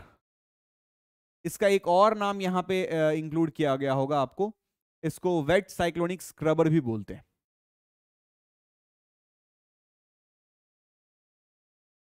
Wait cyclonic scrubber बोल देते हैं। अब इतने से मारो, दिल ना भरो। हम इसमें थोड़ा और एड ऑन कर रहे हैं। क्या एड ऑन कर रहे हैं? देखो, इसी में। इसी सिस्टम में थोड़ा और एड ऑन कर रहे हैं कि टेंजेंशली आप एयर तो दोगे, वो तो ठीक है। साइक्लोनिक एक्शन मेंटेन करोगे, वो भी ठीक है। अब क्या करो आप? लिक्विड जो है आप स्प्रे जो कर रहे थे वो यहाँ ना करके आप क्या करो? यहाँ एक वेंचुरी मीटर वाला एक सेटअप बना लो। जिसमें ये वाला पार्ट आपका थ्रॉट है। आप लोगों ने वेंचुरी मीटर देखा है? थ्रॉट वाला एरिया क्या होता है? छोटा होता है। क्रॉस सेक्शन एरिया उसका छोटा होता है। और वहाँ स्प्रे लगा के रखो। तो इट इज़ लाइक समझो इट इज़ लाइक समझो कि मुझे इस फ़ील्ड में जितने लोग जा रहे हैं, सबके हैंड पे मुझे वो स्टीकर देना है। एक एक छाप देना है, कोई साइन देना है। मैं बड़ा सा गेट खोल के रखूँगा और बोलूँगा हाँ आप लोग आते जाओ और मैं सबको देता जाऊँगा। पॉसिबल है? या मैं बोलूँगा, नहीं, मैं एक काम करता हूँ, पहले सारे लोगों को अंदर ले लेता हूँ फ़ील्ड में और फिर मैं घूम घूम के सबको साइन देता रहूँगा, या मार्क देता रहूँगा हैंड पे। तो कंफर्म ऐसा बोल सकते हो क्या कि सबको दे पाओगे आप? नहीं दे पाओगे ना, तब तक तो लोग निकल जाएँगे। लेकिन आप क्या करते हो, बड़ी सी फ़ील्ड है, उसमें एक छोटा सा इनलेट रखो। मतलब एक ही आदमी उसमें घुस सकते हैं और वहीं पे खड़े हो जाओ कि हाँ भैया घुसने से पहले अपना हैंड दिखाओ मार्क दिए बिना जाएँगे नहीं। तो वही वाली बात है कि हम यही छोटे से एरिया में ही वाटर सप्लाई कर रहे हैं। अब इस छोटे से एरिया में जब एयर निकल रहा है तो हर एक पार्टिकल्स को अच्छे से स्प्रे हो रहा है। अब अच्छे से स्प्रे हो रहा है तो रिमूवल भी उसका अच्छे से होगा, क्योंकि सारे पार्टिकल ऑलमोस्ट अच्छे से आपको हैवीनेस हो जाएँगे उनमें। अब पार्टिकल आपकी अच्छी रिमूव होगी तो आपको ये जो सेटअप रहता है, इसको हम लोग बोलते हैं वेंचुरी स्क्रबर वेंचुरी स्क्रबर ये तीनों आपके वेट वाले सिस्टम है। ये तीनों आपके वेट सिस्टम है। अब इनकी एक पार्टिकल साइज़ और इफिशियंसी एक बार देख लो नोट कर लो। अगर आप बात करते हैं स्प्रे टावर की तो वो ग्रेटर देन 10 माइक्रोमीटर और ग्रेटर देन 80 परसेंट आपकी इफिशियंसी रखता है। अगर वही बात करेंगे साइक्लोन का तो वो ग्रेटर देन 2.5 माइक्रोमीटर मतलब थोड़ा कम कम साइज़ के पार्टिकल को भी रिमूव कर रहा है। इफिशियंसी अभी भी आपका 80 परसेंट रहेगा। वहीं अगर बात करें वेंचुरी स्क्रबर की तो वो तो देखो 0.5 माइक्रोमीटर मतलब इतने छोटे पार्टिकल्स को भी रिमूव कर पा रहा है और कि उसकी इफिशियंसी भी ग्रेटर देन 99 मतलब इफिशियंसी भी आपको अच्छी हो गई है। तो अभी तक हमने पाँच एयर क्वालिटी मतलब एयर पोल्यूशन कंट्रोल डिवाइसेस देखे, समझ में आए पाँचों के पाँच? तीन चार चीज़ें में, जो मैं आपको दिमाग में याद रखने बोला हूँ, बाकी चीज़ें तो फ़ंक्शन है उसकी। समझ में आई यहाँ तक बातें?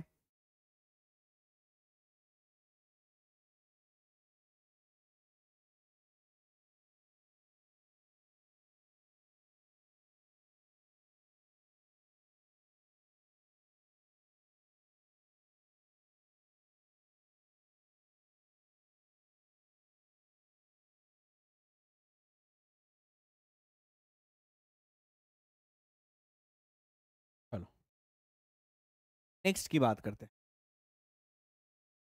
अब नेक्स्ट जो आपका है, वो है इलेक्ट्रोस्टेटिक प्रिसिपिटेटर क्या हो रहा है इसका पहले पहले फ़ंक्शन देखो। फ़ंक्शन कुछ इस तरीके से है कि भैया आपने कलेक्शन प्लेट लगा के रखे।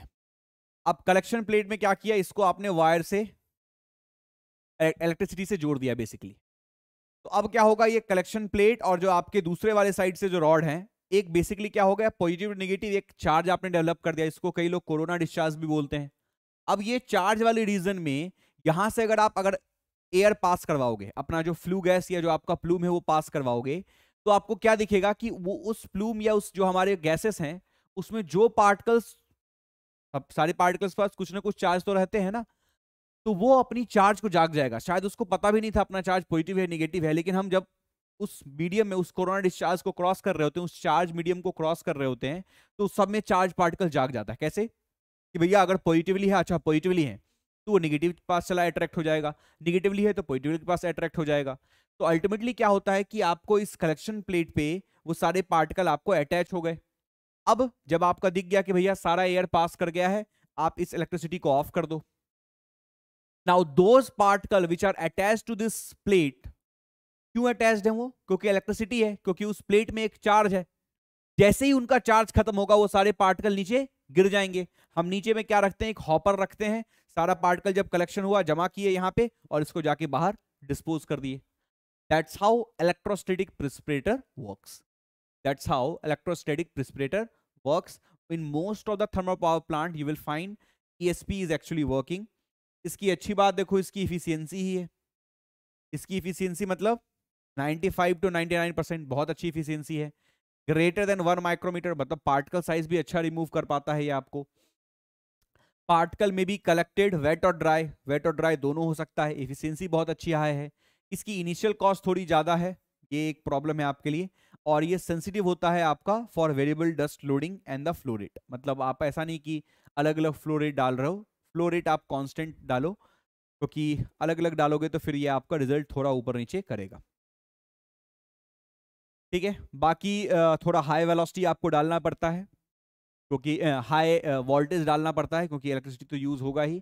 बाकी मेंटेनेंस में कोई ज़्यादा चार्ज नहीं लगता, क्योंकि कलेक्शन प्लेट है, खराबी क्या होगा? ज़्यादा ज़्यादा वो कभी कभी करोड़ हो सकता है, बाकी वो भी होने के बहुत कम चांसेस रहते तो इसमें मेंटेनेंस वाला पार्ट जो है आपको बहुत कम है। अच्छा इसके रिगार्डिंग थोड़ा फ़ेमस है तो इसके रिगार्डिंग हम लोग इफिशियंसी का फॉर्मूला भी एक दे देते हैं। Eta equal to e to the power omega A by Q into hundred omega आपका ड्रिफ्ट वेलोसिटी है ए आपका कलेक्शन प्लेट का एरिया है और क्यू आपका डिस्चार्ज है, जिससे आप, जिस जिस डिस्चार्ज से आप पानी एयर को आप सप्लाई दे रहे हो। ओमेगा जो है आपका ड्रिफ्ट वेलोसिटी का मतलब होता है कि जिस स्पीड से एक पार्टिकल्स कलेक्शन प्लेट की तरफ़ अट्रैक्ट हो रहा है। और ये छोटे बड़े पार्टिकल से फ़र्क नहीं पड़ता, सबकी ड्रिफ्ट वेलोसिटी सेम ही रहती है। क्लियर है? तो ये ईएसपी के रिगार्डिंग ये सारी बातें ध्यान में रखिएगा। अब एक और लास्ट सेटअप है आपको, जिसको हम लोग बोलेंगे फैब्रिक फ़िल्टर अब ये समझना कैसे काम करता है? हमने क्या किया देखो फॉर एग्ज़ाम्पल एक एक, ये हमारा एक फैब्रिक फ़िल्टर है। एक को मैं आपको समझा रहा हूँ देख के। ये है आपका, जहाँ से आप एयर को डालें। ये एक फ़िल्टर की तरह है। अब इस फ़िल्टर में जो है आपका, ये आपका जो सरफेस है, यहाँ से आपको एयर निकलना चाह रहा है। एयर निकलना चाह रहा है, एयर निकलना चाह रहा है। जब ये एयर निकलेगा तो ये जो फ़िल्टर है, ये क्या बोलेगा? ये क्या बोलेगा आपको? ये बोलेगा कि भैया, जो पार्टिकल है, उसको यहीं छोड़ के जाओ और सिर्फ़ एयर को बाहर निकलने देगा, क्लीन एयर को ही बाहर निकलने देगा। तो ये हो जाता है आपका फैब्रिक फ़िल्टर। बट अब देखो, एक ही बड़ा सा फ़िल्टर आप, एक ही बड़ा सा फैब्रिक फ़िल्टर बनाओगे तो वो आपको उतना सरफेस एरिया प्रोवाइड नहीं करेगा जितना आप उसी जगह में, उसी वॉल्यूम में मल्टीपल ट्यूब आप डाल दोगे मल्टीपल फ़िल्टर डाल दोगे। तो क्या होगा? सरफेस एरिया आपको बढ़ जाता है। पॉइंट समझ पा रहे हो? फॉर एग्ज़ाम्पल अगर मैं एक बॉटल ये आपका देखो है, आपका समझो ये आपका एक फैब्रिक फ़िल्टर है। सिलिंड्रिकल बैग है। नीचे से आपने एयर दिया। इस सरफेस एरिया के होते हुए आपका क्या है? एयर बाहर निकल रहा है तो वो फ़िल्टर होके बाहर निकल रहा है। अब मैं इसी इसी इसी बड़े जगह पे छोटे छोटे कई सारे ऐसे पतले पतले ट्यूब्स दे दूँगा। तो सरफेस एरिया ज़्यादा मिल जाएगा ना? क्या ये बात सब लोग समझ पा रहे हैं? सरफेस एरिया क्यों ज़्यादा मिलेगा? क्या ये बात सब लोग समझ पा रहे हैं? सरफेस एरिया क्यों ज़्यादा मिलेगा? पूरा बड़ा सा एरिया में मैं मल्टीपल ट्यूब्स दे देता हूँ। तो हर मल्टीपल ट्यूब्स में क्या होगा? आपका एक सर्फेस एरिया मिल जाएगा ना? हर मल्टीपल ट्यूब में एक आपका सर्फेस एरिया मिल जाएगा। इट इज़ लाइक आप एक बड़े क्यूब को कई सारे छोटे ट्यूब में कट कर देते हो। तो आपको सरफेस एरिया बढ़ जाता है ना? आपका for a given same volume आपका सरफेस एरिया बढ़ जाता है ना? यही चीज़ें यहाँ पे हो रही हैं। इसीलिए हम लोग मल्टीपल ट्यूब में यूज़ कर रहे हैं। अब यहाँ पे सेटअप में क्या है देखो आप? यहाँ से डर्टी गैस डालो, ये नीचे से आपको ऊपर की तरफ़ गया इस ट्यूब में, बाहर यहाँ से फ़िल्टर होता हुआ आपको क्लीन एयर बाहर निकल गया। अब ये जब ये आपको गंदा हो जाता है, दिखता है एकदम चोक हो गया है तो आप क्या करते हो? ऊपर आपने वाइब्रेटिंग मैकेनिज्म लगा के रखा है, वो उसको थोड़ा शेक कर देता है। तो जैसे ही शेक करेगा, आपको क्या होगा? गंदगी नीचे गिर जाएगी हॉपर में और उसको आप कलेक्ट करके बाहर फेंक देते हो। तो that's how a fabric filter works बहुत अच्छा काम करता है। कुछ प्रॉब्लम्स भी हैं इसमें लेकिन इसकी इफिशियंसी वगैरह बहुत अच्छी है। हाँ। इफिशियंसी देखिएगा तो इसकी 99 परसेंट है और कभी आ, मतलब ग्रेटर देन 99 परसेंट में बोलूँगा। और वन माइक्रोमीटर पार्टिकल साइज़ इसकी भी रिमूवल होती है। कई बार ये आपको बोलूँगा कि मैं लेस देन वन माइक्रोमीटर भी उससे भी कम को रिमूव कर लेता है इतनी अच्छी इसकी इफिशियंसी है। बट प्रॉब्लम है इसका, आप लोग जानते ही हो कि भैया ये ज़्यादा टेम्परेचर रेंज नहीं ले पाएगा। क्योंकि तो है तो कितना भी आप अच्छा फैब्रिक बना दो, है तो फैब्रिक है ना। दूसरा इफिशियंसी अच्छे होने के बावजूद भी इसमें आप वेट वाला आप जो है पार्टिकल्स मत करो। वेट कंडीशन में करोगे तो चोकिंग होगी। वेट कंडीशन में करोगे तो आपको चोकिंग होगी।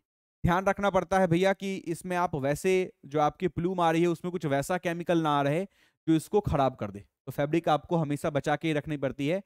केमिकल का अटैक होने का एक चांसेस या एक रिस्क तो आपको रहता ही है।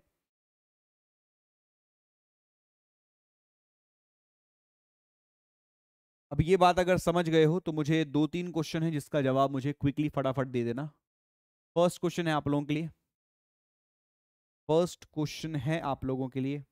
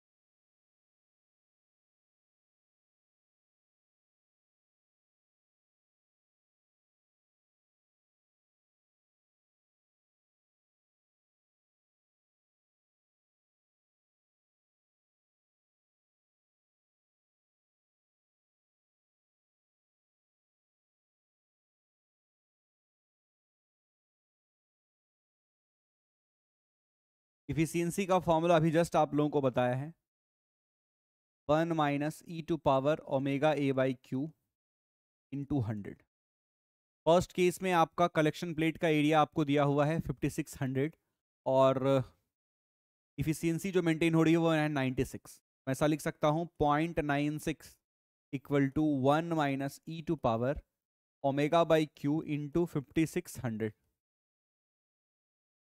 दूसरे केस में आपका इफिशियंसी जो वो चाहते हैं वो है पॉइंट नाइन नाइन चाहते हैं। तो one minus e to power omega by Q into यहाँ पे एरिया आप लोग चाहते हैं। यही है। आ, यही है ना आपके लिए। तो आप क्या कीजिए फ़र्स्ट वाले केस को यूज़ करके यहाँ से ओमेगा बाई क्यू की वैल्यू निकाल लीजिए और उसको फिर यहाँ पे पुट कर दीजिए। That's how you can do it ultimately तो आपको ए एरिया ही चाहिए। फ़र्स्ट वाली इक्वेशन से डब्ल्यू बाय क्यू की वैल्यू निकालिए और इस वाले पार्ट को यहाँ सेकेंड वाली इक्वेशन में पुट कर दीजिए। You will get the area for 99 percent efficiency collection plate की एरिया कितनी होनी चाहिए वो आपको पता चल जाएगा।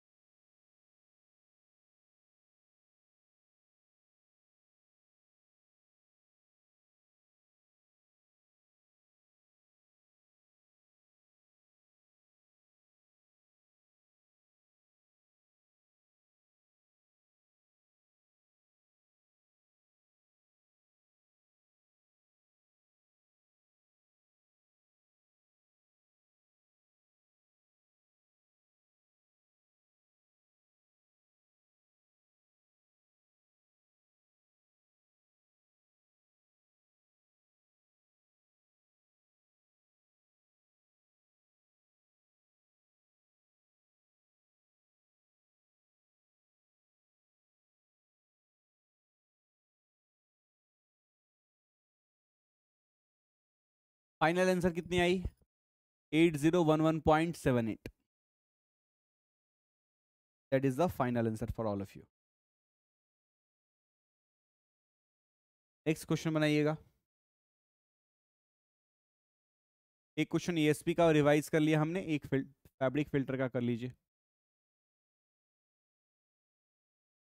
एसएससी जेई मेंस के लिए कुछ टिप्स बताइए Vikas ji. S S C mains के लिए इंजीनियर्स वाला जो चैनल है, उसको फॉलो कीजिए। You will get all the information and update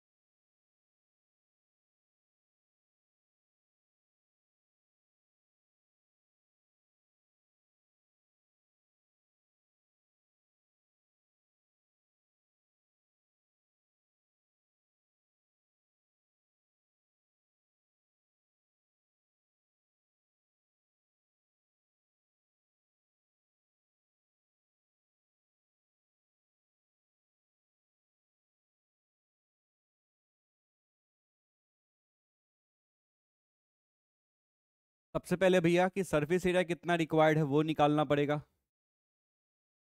That will be Q upon filtering velocity Q आपका टेन है filtering velocity two per minute है मतलब टू डिवाइडेड बाय एक मिनट में साठ सेकेंड तो थ्री हंड्रेड मीटर स्क्वायर हो गया। तो नंबर ऑफ़ फ़िल्टर निकालने के लिए क्या होगा? जो टोटल आपका सरफेस एरिया रिक्वायर्ड है डिवाइडेड बाय एक फ़िल्टर आपको कितना सरफेस एरिया प्रोवाइड कर रहा है? पाई डी एल तो पाई डी है आपका पॉइंट फोर फाइव और लेंथ है आपका सेवन पॉइंट फाइव।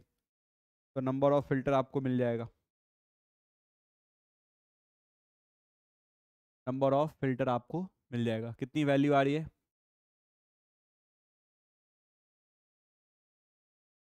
न्यूमेरिकल नहीं कर पाते हैं जिया जी तो आप अच्छे से रिवीजन कीजिए और प्रॉपर जो आपका रिवीजन कोर्स है न्यूमेरिकल रिवीजन कोर्स है 1500 क्वेश्चन सीरीज़ वाली जो बैच है उसके सारे क्वेश्चंस लगा लीजिए। वो बैच उसी लोगों के लिए है जिनको कंसेप्ट पता है न्यूमेरिकल बनाने में दिक्कत होती है और ये एग्ज़ाम जो गेट है वो तो न्यूमेरिकल ओरिएंटेड ही है। For that purpose only we have design that batch 1500 question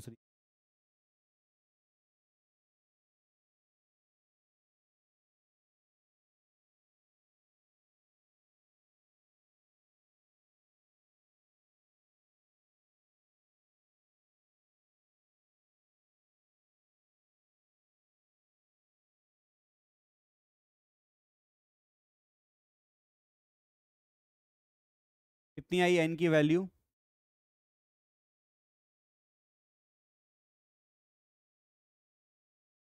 Twenty nine. चलिए, ठीक है, जो भी आप जवाब दे रहे हैं। एक एक्स्ट्रा बैग लेने तो नहीं बोला है? नहीं। तो फिर ट्वेंटी नाइन ही आपका आंसर हो जाएगा। चलिए, मैंने आपको कुछ कुछ डाटा एक बार आपको मैं दे देता हूँ। जैसे आपकी जो नॉक्स है, जो N A A Q S, national ambient air quality and standard जो है आपके, वो सल्फ़र डाइऑक्साइड का, नाइट्रोजन का, for industrial areas, for ecologically sensitive areas वो annual data, twenty four hour data, ये आपको बताया हुआ है। टोटल बारह होंगे आपके, ठीक है? टोटल बारह होंगे आपके, जो जिसका नॉक्स ने दिया है, इसको आप दिमाग में रखिएगा। और दूसरा जो आपको दिमाग में रखना है कि भैया, A Q I.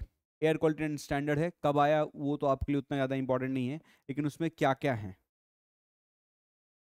P M ten P M two point five ozone, carbon monoxide S O two N S three P B lead C O two नहीं है, आपके जो एट एयर पोल्यूटेंट डिसाइड हुए थे फॉर एयर क्वालिटी इंडेक्स उसमें सी O two नहीं है, इस बात का ध्यान रखिएगा।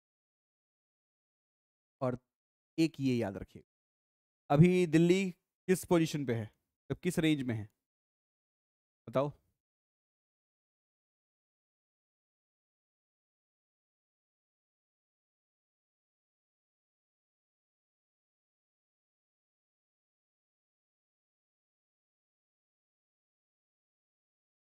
ये टेबल इतना जो सारी टेबल है, इसको आप याद रखिएगा।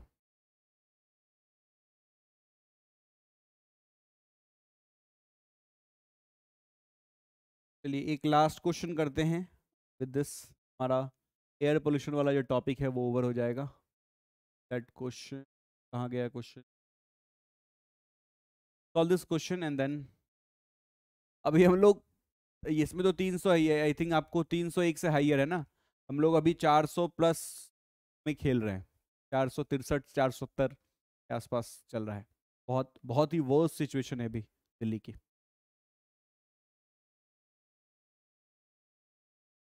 oh, oh, oh.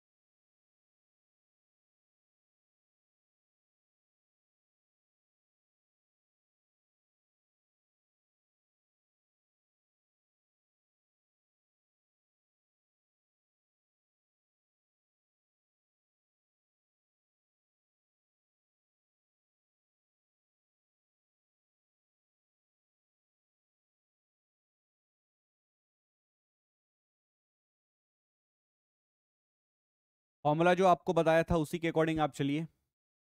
Final weight of filter paper आपको कितनी गिवन है? 26.589 माइनस इनिशियल वेट है 28.876 this value is in gram, इसको कन्वर्ट कर लीजिए माइक्रोग्राम में by multiplying 10 to power 6 divided by नीचे जो आपको चाहिए, वो चाहिए वॉल्यूम ऑफ़ एयर जो आपने सैंपल किया है। तो इनिशियली आपका रेट था 1.8 metre cube per minute but but जब तक आपकी सैम्पलिंग खत्म हुई, वो हो गया 1.6 तो एवरेज आपकी रेट कितनी हो गई? 1.8 प्लस 1.6 डिवाइड बाई टू क्योंकि लीनियर डिक्लेशन आपकी बोल रहे हैं ये लोग। ठीक है? यहाँ पे आपको मेंशन किया गया है। Assume a linear decline in the air flow rate during the sampling अब ये तो आपका मीटर क्यूब पर मिनट में है।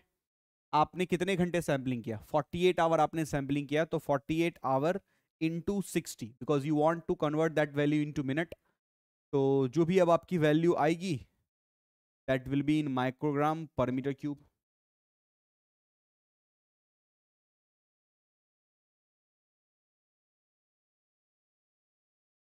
अमय नाइन अमय जो दे रहे हैं, नाइन सिक्सटी टू दे रहे हैं। अभिषेक रोशन एक बार कंफर्म कीजिए, क्या यही वैल्यू आ रही है? तो then we can write that part कल की जो आपकी टॉपिक रहेगी, कल की आपकी इस इन्वायरमेंट वाले क्रैश कोर्स की लास्ट क्लास है। कल का जो हमारा टॉपिक रहेगा, वो रहेगा solid waste management and tomorrow will be the last class in for this subject not for this batch for this subject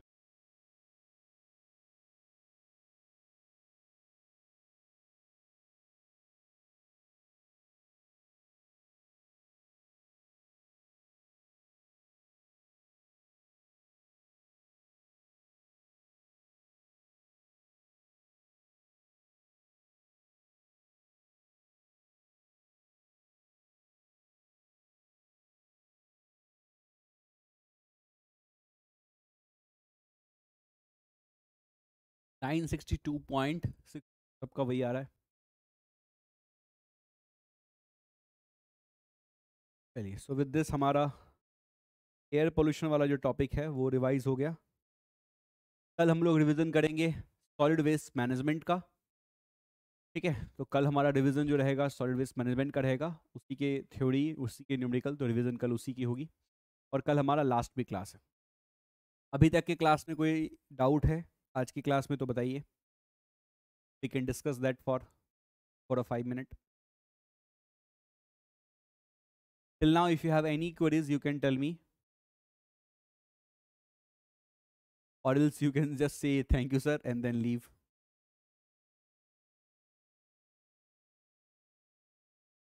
कुछ क्वेरीज है, कुछ दुख हैं, कुछ दर्द हैं, बताइए।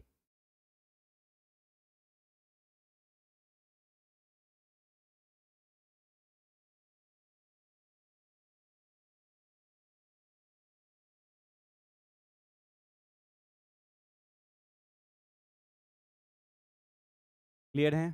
चलिए फिर, मिलते हैं कल same timing seven thirty P पे। ख्याल रखिए आप सब लोग।